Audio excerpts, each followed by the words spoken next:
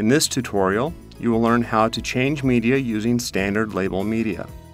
Before loading media into the printer, always remove the outer wrap that may have become contaminated during shipment and handling. These contaminants can cause damage to the print head and degrade print quality. Set printer for gap notch media.